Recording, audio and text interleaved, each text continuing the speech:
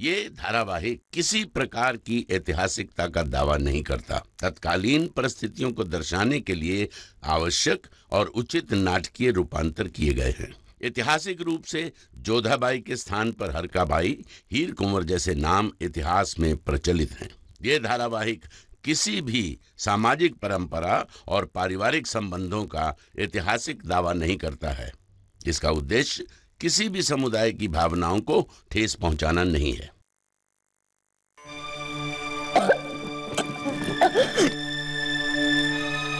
जोधा बेगम पधार रही हैं। जा, जाओ इसे छुपा दो जाओ।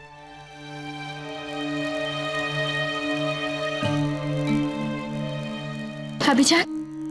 सलाम भाभी जान। प्रणाम। कैसी हो बख्शी बानू? हम तुमसे पहले भी मिलने आने वाले थे। हमें मोती बाई ने बताया था कि जब विष पीने के बाद हम मृत्यु के बहुत करीब पहुँच गए थे, आपने किस तरीके से हमारे लिए प्रार्थना की थी? भाभी है आप हमारी। ये तो हमारा फ़र्ज़ था ना। आइए, बैठिए। इतना सब कुछ होने के बाद भी आपने हमें माफ़ कर दिया। जब हमारे भाईजान हमसे मुँह मोड़कर बैठे हैं, आपने हमारा ख्याल रखा। आपसे नेक औरत हमने आज तक नहीं देखी। मगर भाभी जान आपको यहाँ नहीं आना चाहिए था। भाईजान हमसे नाराज़ है। आपका यहाँ आना उन्हें अच्छा नहीं लगेगा। आखिर हम मुगल सल्तनत के गुनहगार है। नहीं बख्शी बानू। यदि हमारी दृष्टि से देखा जाए तो आपके मन में केवल अपने पति के लिए बहुत प्रेम है। और आप तब भी हमारे लिए परिवार की सदस्य थी, और आज भी वही हैं। ये तो आपका बड़प्पन है। अच्छा सीकरी से सलीम शाह बाबा ने आशीर्वाद के रूप में जानत्री हमें दी है। हाथ आगे बढ़ाइए।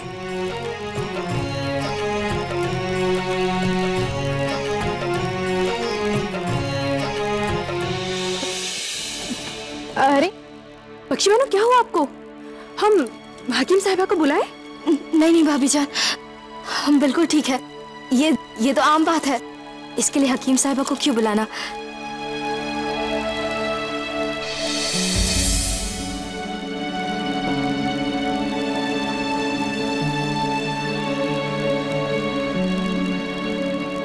बख्शी बानो हमें पूरा विश्वास है कि आप हमसे कुछ छिपा नहीं रही हैं। सच सच बताइए, क्या बात है?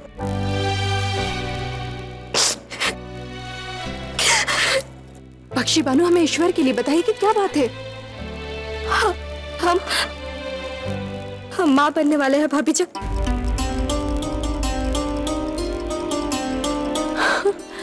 बख्शी बानू, ये तो बहुत ही शुभ समाचार है। और इस समाचार के लिए तो आपके चेहरे पर हर्ष आना चाहिए। आँखों में अश्रु नहीं हम अभी जाकर ये बात सबको बताते हैं। नहीं नहीं, भाभी जान किसी को मत बताइएगा। ये बात सुनकर भाईजान खुश नहीं, बल्कि नाराज़ होंगे। जनाब शरीफुद्दीन साहब उनके गुनेगार है। भाभी जान आप किसी को नहीं बताएँगे। हमें वादा कीजिए।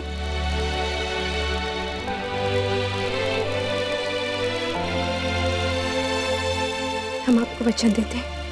हम वही करेंगे जिससे आपके मन को प्रसन्नता मिलेगी।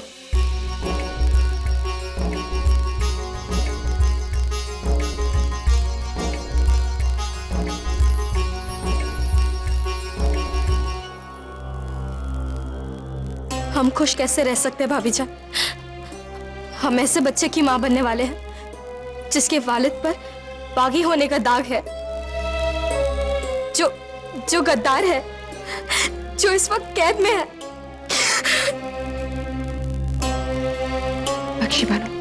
हम आपको वचन देते हैं। शरीफुद्दीन जी को मुक्त कराने का हम हर संभव प्रयास करेंगे।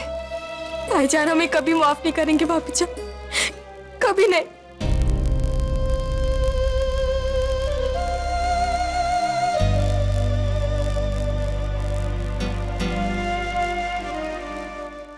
शहनशाह, हालाँकि सल्तनत का कारोबार ठीक से चल रहा है, मगर इन दिनों कुछ मुश्किलात पेश आ रही हैं। मेवात से भी खबर अच्छी नहीं है।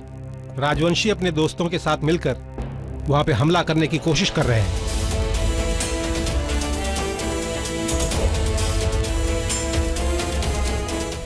लश्कर को मेवात की ज़िम्मेदारी सौंपी जाए। और शहर में जो हिफाजत के इंतज़ाम है, मुझसे बहुत नाखुश है। जिस तरह से अबुल मालिक कैद खाने से भाग गया उसके बाद बाकी जगहों की हिफाजत पर भी सवाल उठते हैं। चरफुद्दीन को आगरा से रोहताश के लेके कैद खाने में भिजवा दिया जाए। जी हुजूर। लेकिन कैद के साथ साथ कुछ और जगहों से भी गड़बड़ी के इशारे मिल रहे हैं। कारखाने के हिसाब भी कुछ साफ़ नहीं है। दीवान बैत्यूत मीर बंजिल, इनके हिसाब पिछले छह महीनों से दुरुस्त नहीं पाए गए। पुरसाना के हाकिम अत्ता बेगी भी बता रहे थे कि घोड़ों की खरीद फरोख्त में गड़बड़ी पाई गई है। कारखाने के लिए सौ बैल गाड़ी लोहा मंगाया गया था। उसमें से बीस बैलगाड़ी लोहा कहाँ गया। कुछ पता नहीं है। फ़ौरन तफ्तीश की जाए कि ये गड़बड़ियाँ का और यार में बताया जाए। आज से रसद माल गोदान खरीद फरोख्त की ज़िम्मेदारी हम आप पर सौंपते हैं। और मीर सामान और बहबूद के हिसाब की फिर से जाँच कराई जाए। अगर उसके हिसाब में फिर से गड़बड़ी पाई गई तो हमें बताया जाए। क्योंकि अगर हिसाब में गड़बड़ी मतलब सल्तनत से गद्दारी और हमें गद्दार बर्दाश्त नहीं है साहब जी हुजूर। वो बास बहादुर के बारे में आपका क्या हुक्म है?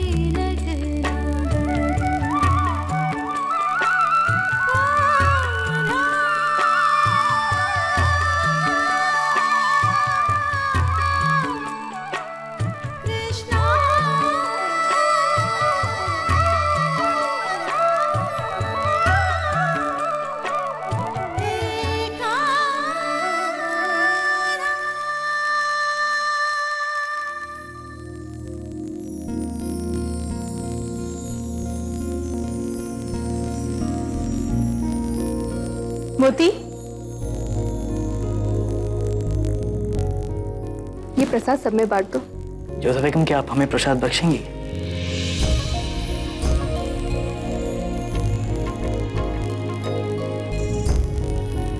शहनशाह आप यहाँ? मोती तुमने हमें बताया क्यों नहीं? मुझे खुद नहीं मालूम था जोधा बेगम कि हम यहाँ आए बताइए आप यहाँ क्यों आए? काम कर रहे थे शोधा बेगम फिर आपको गाते हुए सुना तो खुद को रोक नहीं पाए। लेकिन अगर आपको हमारा यहाँ अच्छा नहीं लगे तो हम यहाँ से चले जाते रुकिए शहनशाह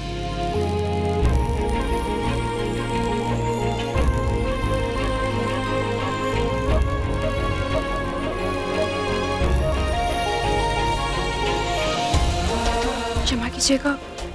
हमने आपका हाथ पकड़ा। मेहरत इस बात की नहीं है कि आपने हमारा हाथ पकड़ा।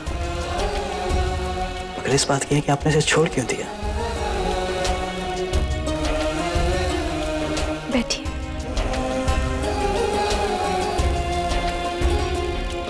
आपके साथ किया हुआ सफ़र बहुत सोना था शोधा बेगम। यात्रा तो हमारी भी बहुत अच्छी रही शहनशाह मगर आपको ज़्यादा अच्छा क्या लगा सफ़र या फिर हमारा साथ?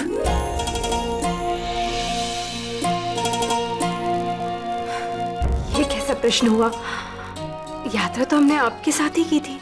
सवाल इतना मुश्किल भी नहीं है चौथा बेगम जितना आप घुमा के जवाब दे रही बता भी दीजिए।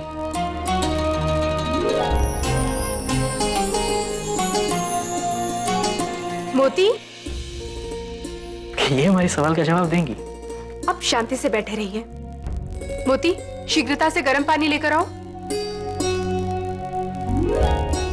करना क्या चाहती हैं आप?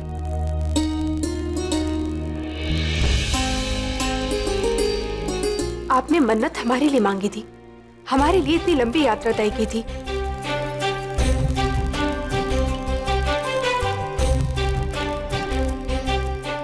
जब आप हमारे लिए इतना कुछ कर सकते हैं तो हम भी तो कम से कम आपके पैरों की पीड़ा थोड़ी कम कर सकते हैं। ये कौन सी बात हुई? शौहर बीवी के पैर नहीं छू सकते हैं लेकिन बीवी शौहर के पैर छू सकती हैं।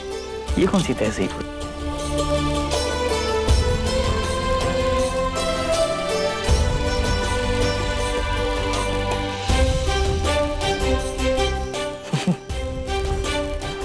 माफ़ कीजिएगा जोधा बेगम हमें खुदकुदी होती है। शहनशाह एक बात बताएँ हमारी एक सहेली है। बेचारी अपने पति से बिछड़ गई है। आप कहना क्या चाहती हैं? जोधा बेगम साफ़ साफ़ कहिए। आप ऐसा क्यों कह रहे हैं? हम आपको समझने लगे हैं जोधा बेगम। आपके चेहरे से बता सकते हैं कि आपके जहन में कुछ चल रहा है। जिस बात से आप खुश भी हैं लेकिन लेकिन परेशान हैं कि आप हमसे कहें कैसे? हिचकिचाइए मत कहिए। आपने बिल्कुल सही पहचाना। शहनशाह यदि हम आपसे कुछ मांगेंगे तो आप क्रोधित तो नहीं होंगे ना? बेशक नहीं जोधा बेगम। आप जो मांगेंगे हम आपको देंगे। बताइए क्या चाहिए आपको? परंतु बात कुछ ऐसी है कि आप क्रोधित हो जाएँगे। अरे जब तक आप बताएँगे नहीं तो हम क्या कह सकते हैं? कि हम गुस्सा होंगे या नहीं? बताइए। वो हम बख्शी बानू से मिलने गए थे।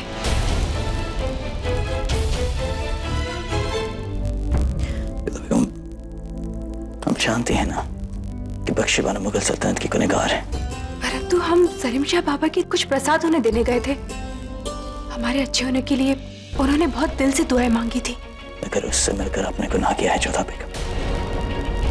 शहनशाह पक्षी बानो गर्भवती है वो माँ बनने वाली है।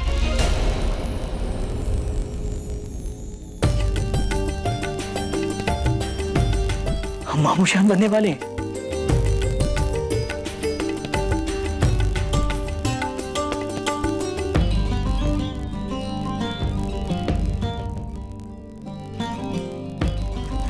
शरफुद्दीन जी और बख्शी बानो को क्षमा कर दीजिए। उन्हें एक अवसर और दीजिए। जोधा बेगम शरीफुद्दीन और बख्शी बानो ने जो गुनाह किया है वो मुआफी के काबिल नहीं है। परंतु बख्शी बानो आपकी बहन। है अब इस बारे में हम आपसे कोई बात नहीं करना चाहते।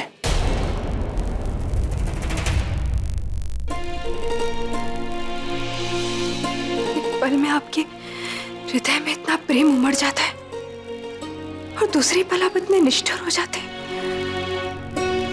क्यों शहनशाह? क्यों? जोधा बेगम जैसी राजवंशी औरत से ऐसी उम्मीद नहीं थी हमें कि वो हमारी वफादारी भूल जाएँगी। अब बेगम आप ही हमारी आखिरी उम्मीद थी और आपने ही। हुजूर? कहा मर गए थे इतने दिन?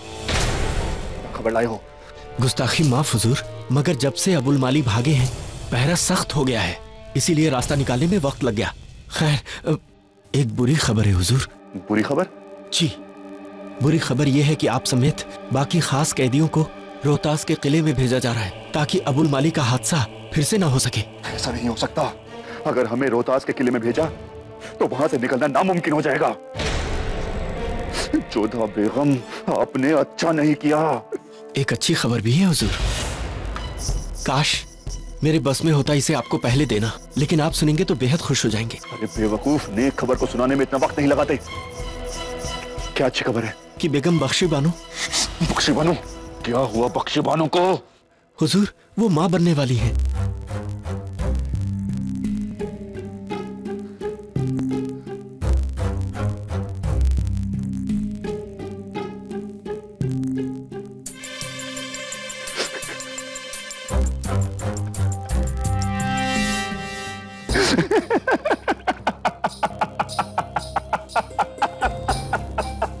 आपको क्या हुआ? जब कोई औरत किसी को दिल से मोहब्बत करती है तो बदकिस्मत से बदकिस्मत इंसान की किस्मत भी चमक जाती है। हम समझे नहीं हुजूर। ज़रूरत भी नहीं है। तुमने अब तक की सबसे अच्छी खबर दी है हमें। हम बहुत जल्द यहाँ से बाहर होंगे। बाहर होंगे? हुजूर मगर कैसे? गुलफाम ये दुनिया उन बेवकूफों से भरी है जो दिमाग से नहीं बल्कि दिल से काम लेते हैं। बस देखते जाओ हम बहुत जल्द यहाँ से बाहर होंगे और तुम्हें तुम्हें तुम्हारा इनाम दे रहे होंगे। शुक्रिया बख्शी बानो शुक्रिया। आदाब मल्लिका आज़म। जोधा बेगम आपसे मिलना चाहती हैं। जोधा बेगम इस वक्त? खैर भेजो उन्हें।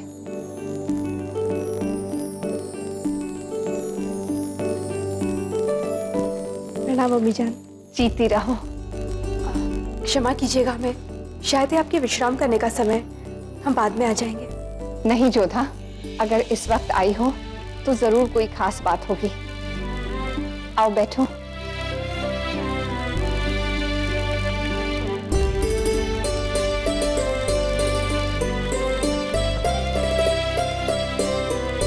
अम्मी जान हमें समझ नहीं आ रहा कि कैसे कहें आपको। वैसे ही जैसे एक बेटी अपनी माँ से कहती है। बात आपकी बेटी की ही है। बख्शी बानो की। क्या किया बख्शी बानो ने? फिर कोई गुनाह? नहीं अम्मी जान। हम सलीम शाह बाबा के यहाँ से जो जंतरी लेकर आए थे वो बख्शी बानो को देने गए थे। और तब हमें पता चला कि बख्शी बानो माँ बनने वाली है।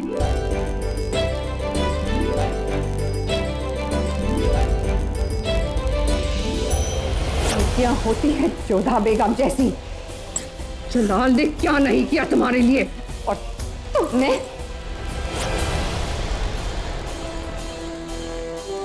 समझ नहीं आता चौधा इस खबर से हम खुश हों कि हम नानी बनने वाले हैं या गम जताएँ। कि इस बच्चे के वालिद वहाँ मौजूद नहीं। लेकिन बेटा, तुम्हें वहाँ नहीं जाना चाहिए था। एक गुनहगार से मिलना मुगल कानून के खिलाफ है। अगर जलाल को पता चल गया तो उन्हें पता है, अम्मी जान हमने उनको सब कुछ बता दिया है। और हमने उनसे कहा भी कि इस समय शरीफुद्दीन जी का बख्शी के पास रहना बहुत आवश्यक है। इस बात के लिए हमने उनसे विनती भी करी, परंतु उन्होंने स्वीकार नहीं किया। अम्मी जान, अब आप ही कुछ कर सकती हैं। आप शहनशाह को समझाइए ना कि वो बख्शी बानो को क्षमा कर दें। नहीं जोधा, हम जलाल को अच्छी तरह जानते हैं। बेशक बख्शी का माँ बनना एक अच्छी खबर है मगर जलाल इस खबर की वजह से अपना फैसला बदलने वाला नहीं। शरीफ एक गद्दार है और ना तो जलाल को गद्दारी बर्दाश्त है ना ही गद्दार। परंतु उन्होंने अपराध हमारे विरुद्ध किया था और हमने उन्हें क्षमा कर दिया है। फिर बख्शी बानो तो शहनशाह की बहन है ना और इस समय वो गर्भवती है। ऐसे में उनके पास परिवार का साथ और प्यार दोनों होना बहुत आवश्यक है। यही तो मुश्किल है जोधा। जलाल ये कबूल नहीं कर सकता कि हमारे अपने खानदान से कोई अपने खानदान पर वार करे। बेशक शरीफुद्दीन के दबाव में आकर, लेकिन बख्शी बानो ने तुम्हारे साथ ऐसा किया है। बख्शी ने तुम्हें अर्थ देकर तुम्हें बदनाम करने की कोशिश की, और अब जब वो पेट से है, तुम उसका साथ देने की सोच रही हो।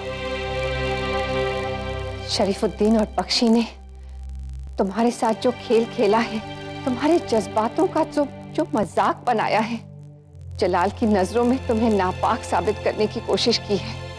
उसके बाद शायद जलाल तो क्या? हम भी उन्हें माफ़ नहीं कर सकते।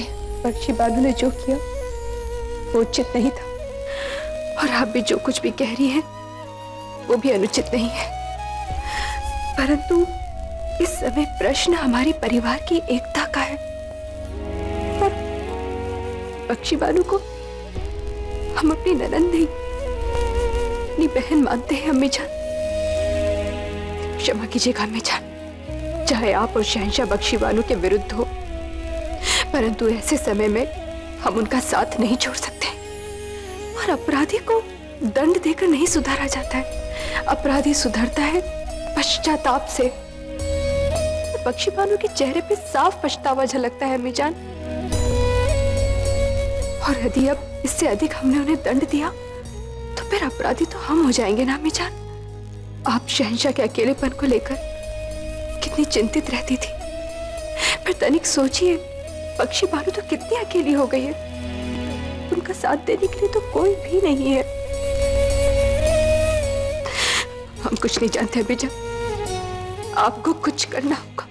आप शहनशाह को समझाइए ना कि वो बख्शी बारू को क्षमा कर दे।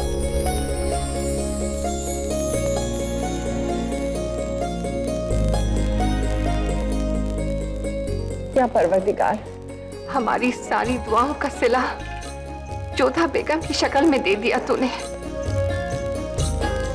जोधा बेटा कितनी पाक है तुम्हारी रूह और उससे भी ज़्यादा पाक है तुम्हारी नीयत। काश सबका दिल तुम्हारी जितना साफ़ होता।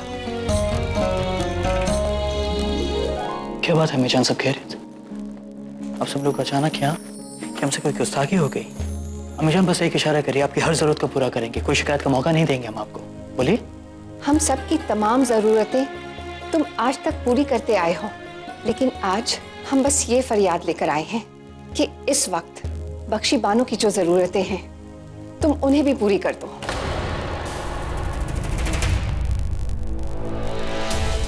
अम्मी जान हमने आज तक कभी आपको ना नहीं करी लेकिन अगर आप ये चाहेंगे कि हम बख्शवानों को माफ़ कर दें तो हमें माफ़ करिए। हमें गद्दार को माफ़ नहीं करेंगे, खासकर उस गद्दार को, जिसने हमारी बेगम को बदनाम करने की कोशिश की है।